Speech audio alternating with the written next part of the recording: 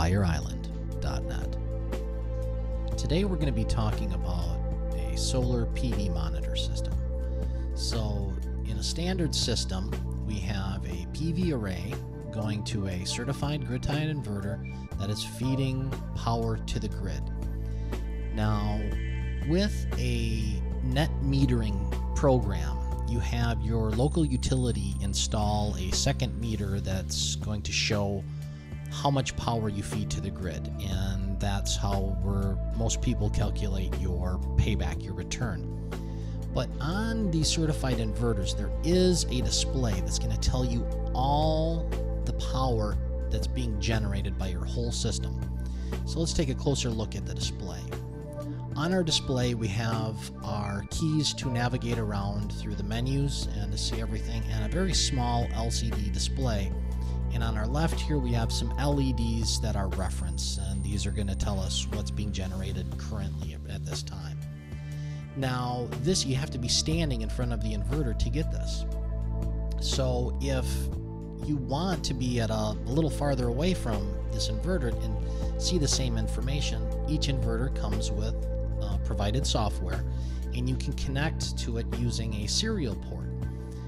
Here's an example of one of our inverters sold at buyerisland.net, and here we have our PV cables coming in, feeding the DC, the AC going out at this point. point, and underneath this cover, uh, we do have a data port that we can connect a serial cable to a computer that has a serial port, install the software, and see the user interface to see everything that's going on.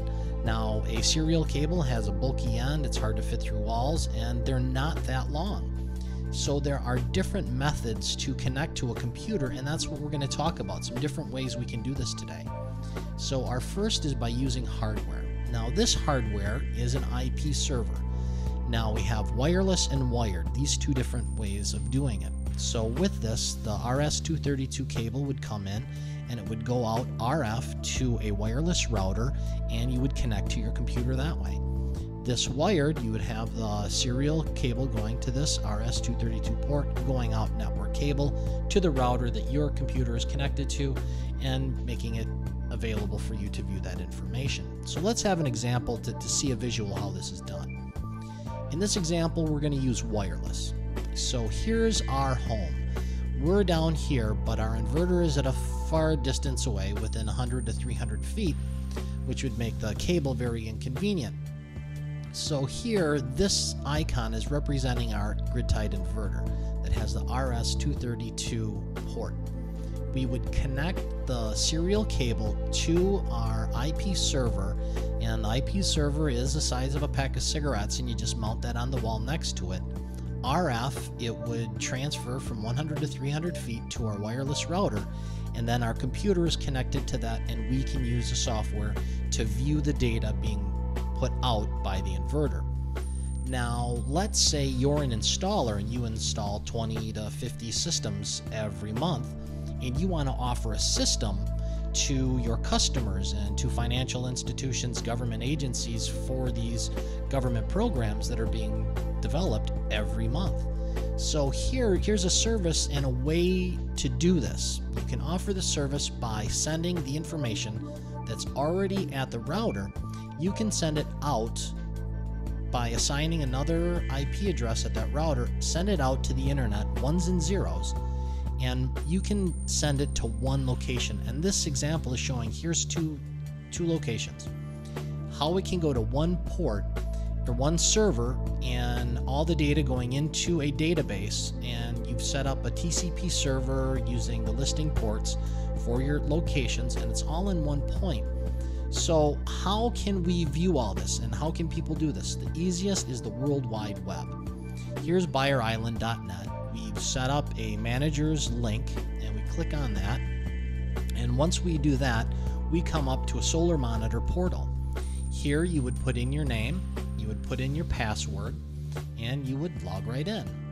So now here comes up our user interface. Here is our, our browser date and time, showing us our address. We have some icons where we can log out or we can download this information to an Excel spreadsheet, we can change the software to do whatever you would want to customize it for your needs. Now here in this user interface, this is showing us our grid. This is telling us it's the grid view, showing us our voltage of our grids, what the current is, and showing us our panels, what AC power we're, we're putting out at this time.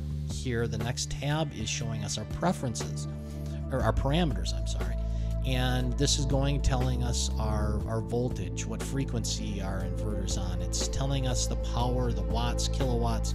It's even going and telling us what our internal temperature is of our inverter. Next is the key point to this software, which is a monitoring software. This is showing, and it's going to show what we're doing. This first one is showing us by the hour. Here we have 24 hours. Going to say what happens every hour. The next one is showing us by the date. We have 31 days displayed here. It will show what happens every day in that month. Below that, we have by the month. We have 12 months here, and it's going to show how much power we're generating every month. Again, here at current time, we would set up with the internal clock of the inverter, and it's displayed here. Again, we can download this.